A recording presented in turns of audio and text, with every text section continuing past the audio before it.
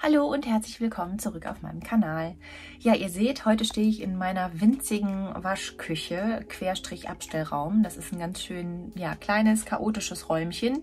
Wir kümmern uns heute nämlich darum, Geräte sauber zu machen, die uns extrem das Leben erleichtern und die immer funktionieren müssen. Und zwar spreche ich einmal vom Trockner.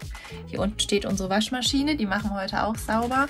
Und dann noch um diesen Gesellen hier, meinen Staubsauger. Der muss auch mal wieder sauber gemacht werden.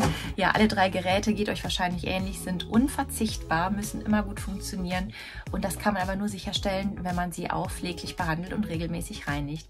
Das machen wir jetzt zusammen. Ich wünsche euch ganz viel Spaß und ja, vielleicht kann ich euch ja motivieren, auch mal Waschmaschine, Trockner, Staubsauger, alle möglichen Geräte, die uns täglich helfen, ein bisschen Liebe zukommen zu lassen. Ganz viel Spaß bei dem Video.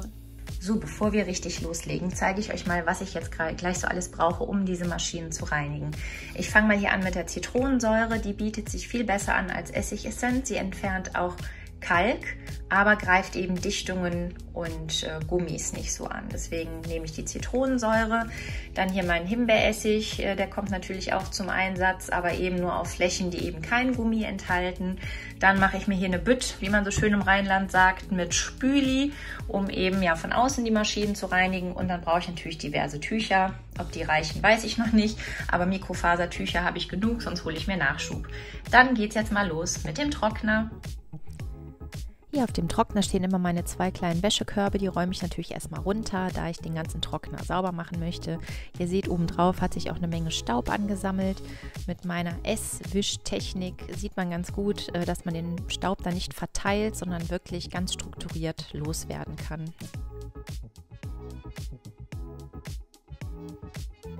Ja, dann wische ich natürlich auch den Trockner von vorne ab, die ganze Front und vorne dieses Bullauge, damit der von außen schon mal schön sauber ist. Ja, gerade im Inneren der Tür sammeln sich dann doch auch schon mal ein paar Flusen an. Die werden natürlich bei der Gelegenheit auch einmal entfernt. Die Siebe nehme ich erstmal einfach so raus, um die kümmern wir uns ein bisschen später. Ja, mit einem feuchten Tuch aus meiner Spülibütt wische ich dann auch von innen die ganze Waschtrommel einmal aus, da auch da natürlich allerhand Flusen im Laufe der Zeit sich angesammelt haben. Ja, und dieses Fach, in dem normalerweise diese Flusensiebe sitzen, auch da seht ihr, sind noch allerhand Flusen in der Tiefe, an die man sonst gar nicht so drankommt, wenn man sich da nicht mal ein bisschen Zeit für nimmt. Ja, natürlich muss dann auch diese Schublade entnommen werden, in der sich das Kondenswasser sammelt. Die reinige ich jetzt natürlich auch noch. Genau, einmal von außen abwischen. Ja, da haben sich so ein paar Flusen in so Rillen angesammelt. Da bin ich nur mit einer kleinen Gabel dran gekommen. Ihr seht, da kann man die Flusen ganz gut mit entfernen.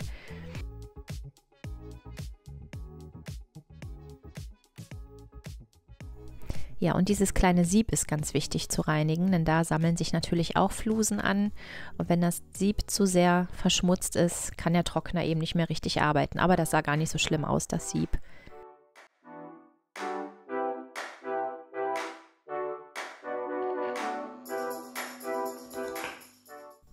Da diese Waschkammer oder diese Kammer, in der sich das Wasser sammelt, habe ich einmal mit einem Lappen ausgewaschen. Natürlich komme ich da nur an diese kleine Öffnung dran, aber das sah auch gar nicht so schlimm aus, da ich das tatsächlich alles auch regelmäßig reinige.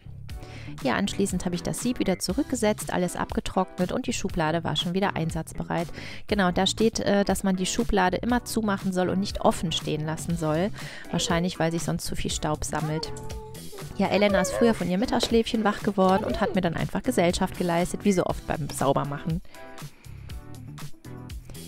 Da seht ihr jetzt diese Flusensiebe. Da haben sich auch noch allerhand Flusen angesammelt gehabt von meiner letzten Wäsche. Die hatte ich noch nicht entfernt. Also einmal die Flusen entfernen und das ganze Ding auch mal ordentlich unter fließendem Wasser abwaschen. Das macht man ja nicht jedes Mal. Zumindest ich mache das nicht jedes Mal. Ja, wir haben zwei Siebe. Das zweite sah auch nicht sehr viel besser aus. Also auch da Flusen einmal raus und das Ganze unter fließendem Wasser säubern.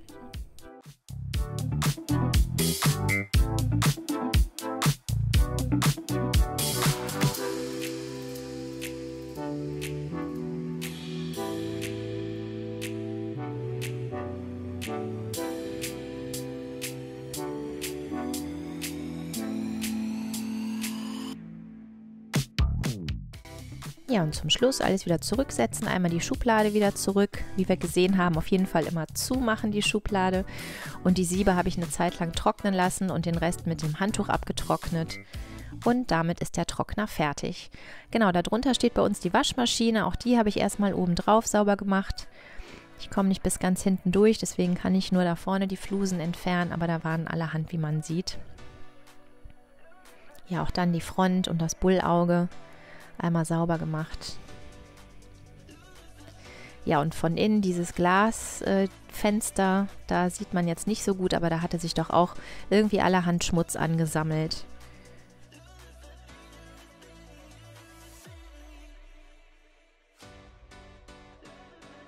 Ja, da ist die Schublade natürlich was anderes, weil da das ganze Waschmittel immer drin ist, ist sie natürlich meistens dreckiger als die vom Trockner. Und hier rühre ich mir jetzt meine Zitronensäure an und verdünne die eben mit ein bisschen Wasser und reinige damit dann die Waschmaschine gleich von innen, wie ihr sehen werdet. Genau, da habe ich das feuchte Tuch. Da habe ich allerdings ein bisschen bereut, keine Handschuhe zu tragen, weil diese Zitronensäure doch recht aggressiv ist. Da musste ich mir die Hand, Hände hinterher ganz gut eincremen. Ach genau, das Wichtigste tatsächlich ist diese Gummilippe, dass man die ordentlich reinigt. Man sieht, dass sich da schon die Verschmutzungen ansammeln, obwohl ich das eigentlich regelmäßig nach der Wäsche auch trocken reibe. Trotzdem sammelt sich da ganz gerne schon mal eine Verschmutzung an oder im schlimmsten Fall sogar ein bisschen Schimmel. Da bin ich dann auch ordentlich mit meiner Zitronensäure gegen vorgegangen, weil das letztlich dann die ganze Wäsche muffig riechen lässt, wenn man das nicht regelmäßig macht. Ja, und diese Waschpulver, Schublade, dieses Innere davon, das habe ich natürlich auch ausgewaschen, aber da ich das regelmäßig mache, sah das jetzt auch gar nicht so schlimm aus zum Glück. Ja, und ganz wichtig, unten dieses Fach einmal öffnen, wenn man die Waschmaschine ordentlich reinigen möchte. Das restliche Wasser ablassen, was sich noch in der Maschine befindet, durch diesen kleinen Schlauch. Und daneben befindet sich nochmal so ein Flusensieb. Und da sammelt sich alles an, was in der Wäsche drin war. Vielleicht irgendwelche Münzen, die man nicht entfernt hatte aus der Wäsche, irgendwelche Flusen. Deswegen heißt es ja Flusensieb. Genau, das sah jetzt auch gar nicht so schlimm aus, weil ich es regel relativ regelmäßig mache. Aber ein paar Flusen hatten sich angesammelt. Die habe ich entfernt. Und ganz wichtig, dieses Flusensieb wieder richtig fest einschrauben, weil sonst ja das Wasser aus der Maschine läuft und man hat eine Riesenschweinerei. Also da wirklich drauf achten, das fest wieder einzuschrauben. Ja, und dann habe ich mich um diese Waschmittelschublade gekümmert. Die habe ich dann ordentlich geschrubbt. Vor allem mit einer Zahnbürste und meinem Himbeeressig habe ich da versucht, in jede Ecke reinzukommen und habe diese Schublade gereinigt.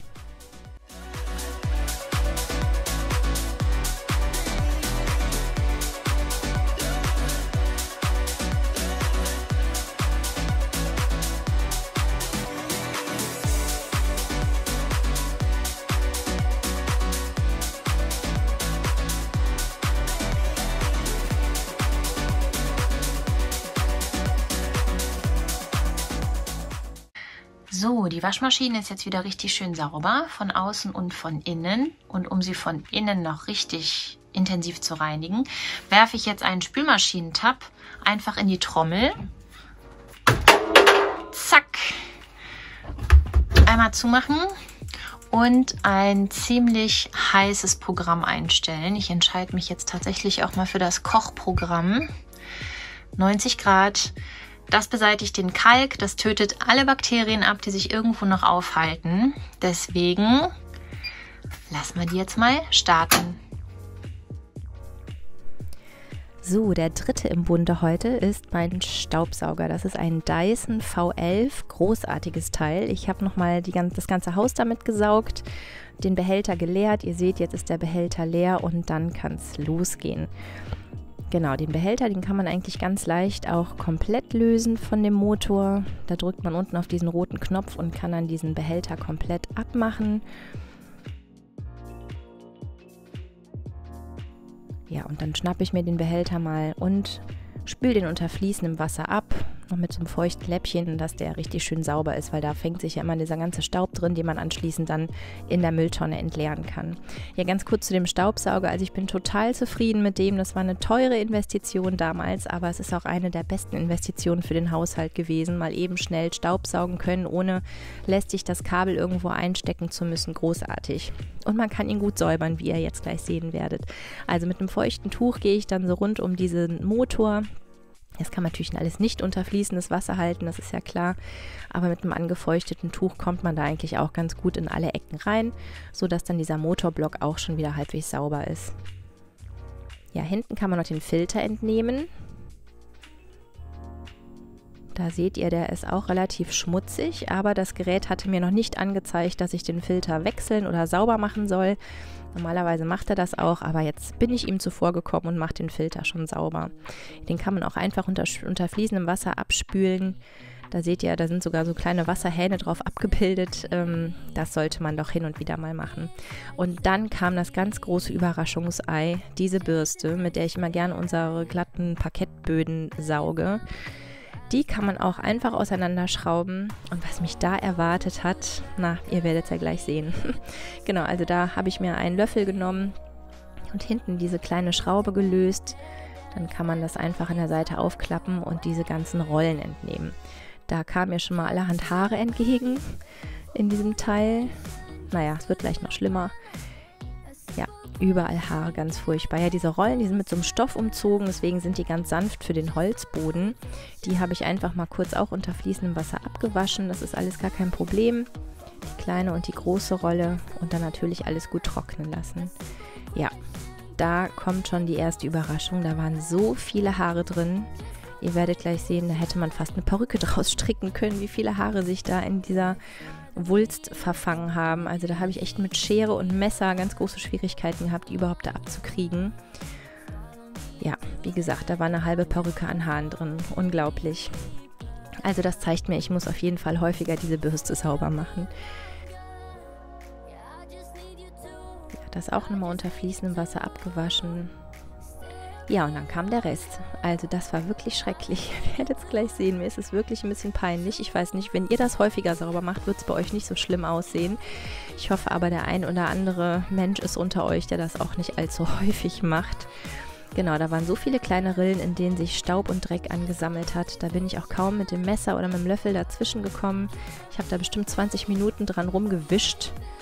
Aber hinterher sah es besser aus. Aber da seht ihr, was sich da an Dreck sammelt auf der Arbeitsplatte, was da alles in diesem, dieser Staubsaugerbürste drin war. Fürchterlich. Also schaut mal bei euch, wie es da aussieht. Ich hoffe ähnlich wie bei mir.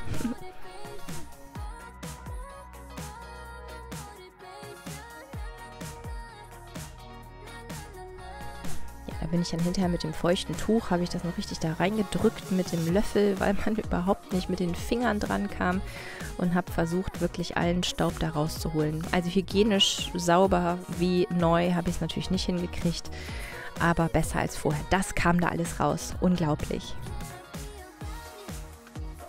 ja, 24 Stunden später, so lange muss man immer warten, bis alles trocken ist. Ne? Diese Stoffbürsten und alle Teile müssen komplett trocken sein. Dann kann man das alles ganz einfach wieder zusammenbauen und die Bürste ist wieder einsatzbereit und man hat ein deutlich besseres Gefühl als vorher. Ja, auch der Staubfangbehälter kann wieder ganz einfach an den Motorblock draufgeschoben werden, eingerastet werden und auch der Filter und dann ist der Sauger wieder einsatzbereit. Ja, hallo, da melde ich mich nochmal bei euch. Das war jetzt nochmal eine Folge aus der Reihe Dinge, die man zu selten reinigt, die Waschküchen-Edition. Ja, der Staubsauger war für mich auch eine Riesenüberraschung. Ich hätte nie gedacht, dass diese Bürste so schmutzig ist. Wie sieht das bei euch aus? Ich bin neugierig. Wie oft macht ihr euren Staubsauger sauber, die Waschmaschine, den Trockner? Eigentlich müssen diese Dinger funktionieren und sonst macht man sich keine großen Gedanken darüber. Wie sieht es da bei euch aus? Schreibt mir doch gerne mal. Ich wünsche euch jetzt noch einen wunderschönen Tag. Ich verlinke euch nochmal oben, beziehungsweise jetzt gleich nach dem Video nochmal die Playlist von allen Folgen aus dieser Serie, Dinge, die man zu selten reinigt. Da habe ich in der Küche schon so einiges gemacht. Vielleicht habt ihr die Videos ja noch nicht gesehen und habt noch Spaß dran. Also, macht's gut, ganz liebe Grüße und bis bald. Tschüss!